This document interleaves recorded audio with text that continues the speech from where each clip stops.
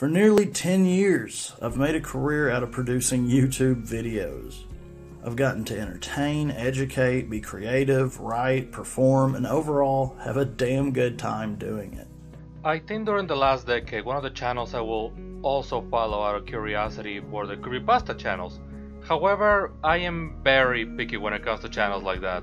I don't like when those will create an atmosphere where I had to expect a jump scare, since those don't quite scare me or entertain me. In fact, a jump scare makes me angry. Just a bit of a personal info for those at home. I personally think that if a story doesn't scare me with its pure writing, then the video shouldn't overdo how to make it scary. Like putting sound effects that aren't part of the story. There are exceptions to this, like Sonic.exe, but that's because the creator of the creepy file put those scary elements. They're actually part of the story instead of something the YouTuber added for dramatic effect. And with that, it's fair to say my two favorite YouTubers for this kind of content were Mutahar for some ordinary gamers and Mullet Mike from Creepy Gaming. And while I can dedicate a whole video to both of them individually, there are elements that I can easily give to Mike exclusively, especially since he's a YouTuber I actually got to know on a personal level. Yeah, this is gonna be more of a personal video than a review per se. In fact, I even had the pleasure to work for him on the latest Creepy Gaming episodes, as well as some of the marathon videos. What was interesting about the way he will tackle the stories is by giving either a brief synopsis of what the story was about or a full retelling of it, but with a regular tone within both his voice and the video, unless the topic of it requires it. But it is exactly that. The story is the star of the video, and if it has supplementary material like a game file or video, that's will be used for the additional effect. He will also take its time to tackle scary elements from the actual gaming community, from Five at Freddy's to Metal Gear Solid, some of the Rockstar games, Resident Evil, the list goes on honestly. He will work on a seasonal format for almost the entire decade until recently decided to go and study psychology, deciding that YouTube will be something he'll do whenever he thought right instead of having a common formula or a committed schedule. So yeah, a pretty straightforward channel on creepy elements of the gaming world and its community. But honestly, when you're part of a genre of videos that are drowned by dramatic readings with additional effects and unnecessary jump scares, he, as well as Mutahar, were a breath of fresh air that offer an opportunity to actually appreciate stories for what they are, and to a certain extent, at least for me, help viewers set a standard of what will make a creepypasta actually good. I'm not saying that they impacted the creepypasta community to improve, but they definitely help people that love creepypastas to expect better than more Sonic.exe while making sure that the stories were at the very least something fun to listen to. Hell, he even made a parody called Cliche.exe, tackling those tropes in a very entertaining manner.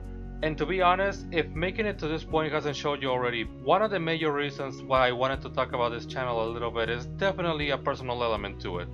If my recent videos can tell you something about me, is that I don't want to focus on reviewing things I don't enjoy.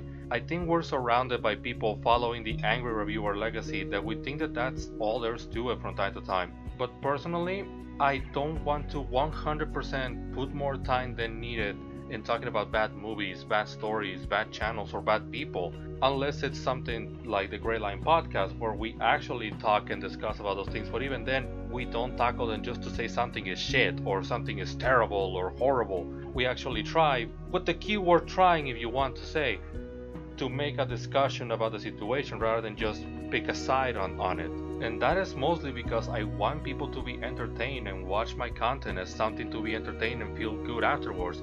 Because it was videos like his what will bring that vibe to me.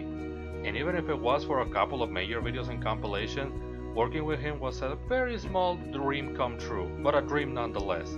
Like I said, there's no real cancellation, as the saying goes, never say never. But for all intents and purposes, like the seasonal format is over and he knows if he ever has an idea, he can text me and we'll work on it. And it'll be something you guys will be the first to know if it happens at some point. And one of the major lessons I had learned with him is that there's so many things we're never too late to work on in life. And that everything will be okay as long as we do what we love because we love to do it as the main reason for it.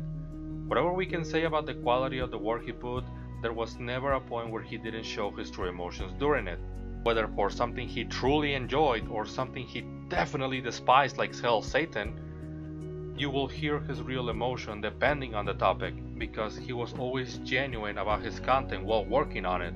And that kind of spirit is something I hope I can give to you guys.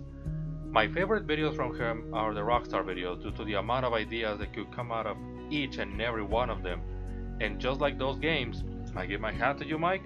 You're a good friend, a good man, and someone the world can be proud of. I hope you're doing great. Stay creepy. Thanks for watching. Peace. Some of you have mentioned how I may have inspired you or helped out during a rough time. These are the ultimate compliments. Thank you all so much. It's ironic that I started creepy gaming when my oldest son was born, and how my last episode was a birthday present to him for his eighth birthday. It's been one hell of a run,